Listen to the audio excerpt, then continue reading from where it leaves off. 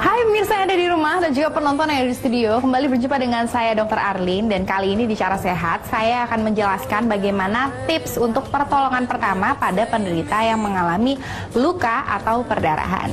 Yang pertama adalah meminimalisir infeksi. Nah bagaimana caranya? Yang pertama bisa apabila ada luka Kita harus uh, bersihkan dengan air yang mengalir. Jangan diberikan minyak-minyak Atau odol Atau minuman-minuman lain Pokoknya jangan Kenapa? Karena itu bisa memperparah luka sehingga bisa menyebabkan infeksi yang lebih lanjut. Nah, yang kedua, kita juga bisa menggunakan cairan antiseptik. Nah, cairan antiseptik di sini berfungsi juga untuk meminimalisir infeksi. Yang ketiga adalah hentikan perdarahan secepat mungkin, sesegera mungkin. Nah, kita harus tahu dulu nih, perdarahan luar itu ada tiga sumbernya, yaitu ada perdarahan kapiler, perdarahan vena, dan juga perdarahan arteri.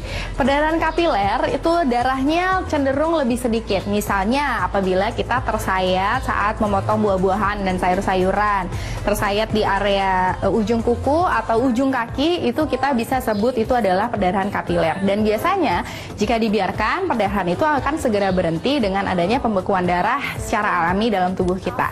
Nah, hal yang biasanya dilakukan adalah kita lakukan pembalutan luka setelah luka itu dibersihkan.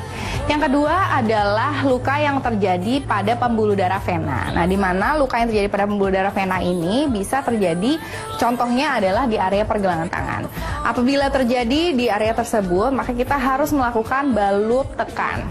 Yaitu yang pertama kita bisa menggunakan dengan e, kasa steril atau kita juga bisa menggunakan dengan handuk bersih ataupun kita juga bisa menggunakan kain-kain yang tersedia. Nah, yang ketiga adalah perdarahan dari pembuluh darah arteri di mana pembuluh darah arteri ini adalah pembuluh darah yang memiliki tekanan sehingga darah yang keluar apabila terjadi luka pasti akan lebih banyak dibandingkan dengan darah vena ataupun darah kapiler. Nah, apabila terjadi perdarahan pada pembuluh darah arteri, tentunya kita harus melakukan penghentian perdarahan secepat mungkin dan segera mungkin.